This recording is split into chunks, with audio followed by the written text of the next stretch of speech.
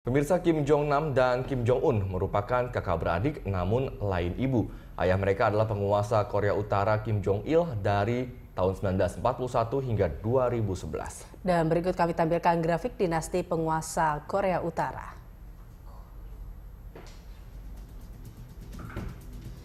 Kim Il Sung merupakan pemimpin Korea Utara sejak dibentuk pada tahun 1948.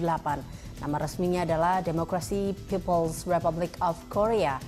Kim menikah dengan Kim Jong Suk yang merupakan istri pertamanya.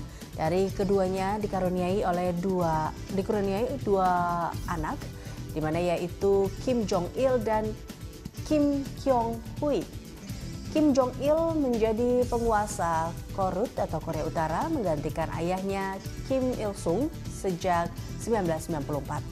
Selanjutnya, Kim memiliki satu istri resmi dan sedikitnya tiga kekasih.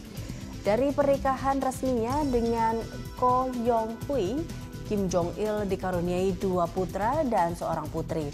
Salah satu putranya bernama Kim Jong Un yang menjadi pemimpin Korea Utara sejak tahun 2011 lalu. Sementara dari salah satu kekasihnya yang merupakan aktris populer di Korea Utara, Song Hye Rim, Kim Jong Il dikaruniai oleh seorang putra bernama Kim Jong Nam yang menjadi korban pembunuhan di Bandara Kuala Lumpur pada 13 Februari lalu.